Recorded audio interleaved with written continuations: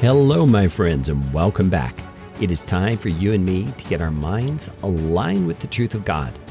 I want to thank you for listening wherever you are in the world. I'm able to look at a map that shows me the various places that people are listening, and it really is just a very encouraging thing to see the map getting more and more full as the days go on. We have people listening in Guyana, we have people listening in Botswana, in Australia, in Mongolia, in Uzbekistan, just all over the world. There are people listening. There's only a few places on the map that I can see where the morning mindset is not being heard.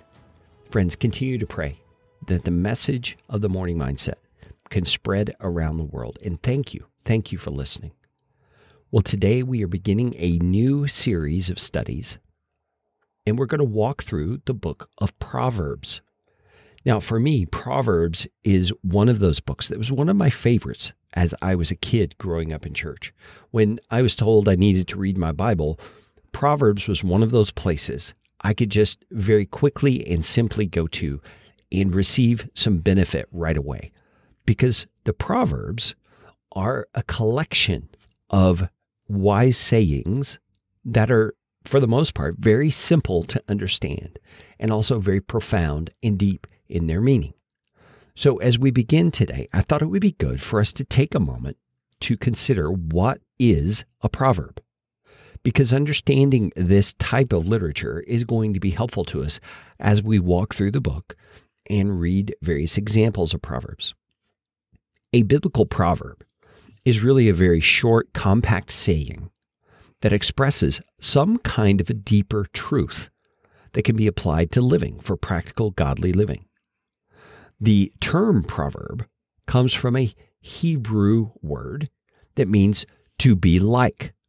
So the book of Proverbs is full of examples of various simple concepts that can be applied to life and enable us to have our life be like what the proverb is describing. Now, proverbs have a certain purpose, and that purpose is to present wisdom in a very short, memorable kind of form so that you can easily uh, remember it. You can more easily apply the truth of it because it is so simple in its in its form. Uh, Proverbs usually are very profound, and you can take time to to ponder them for a long time. And many proverbs deal with very mundane aspects of life, but those mundane proverbs will serve as a, an illustration of a deeper truth if we take the time to ponder it.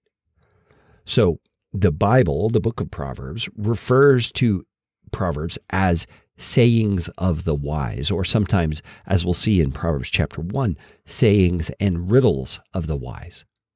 So, friends, as we get into the book of Proverbs, keep in mind we're going to have to, by the very nature of Proverbs, take this in very small chunks for the most part, because Proverbs usually are just short, simple sayings that illustrate that deeper truth.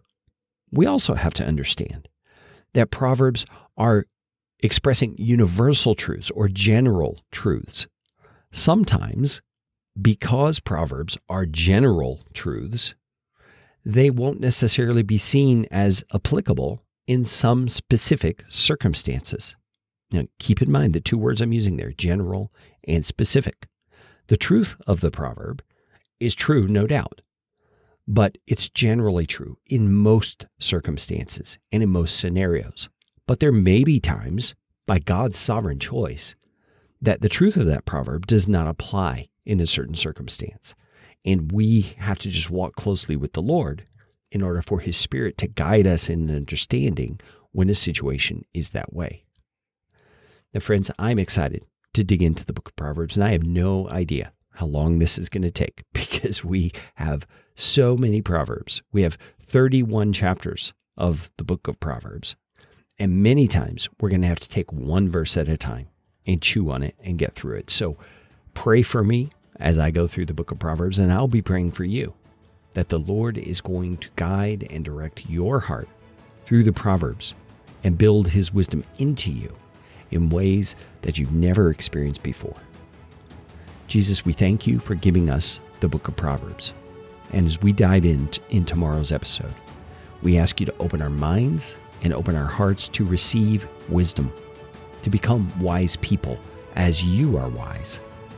Fill us with your insight and your discernment that we can apply it in the world in which we live as we work as, as employees, as we are citizens, as we are parents, as we are children. Lord, guide us in those roles through what we learn in the book of Proverbs.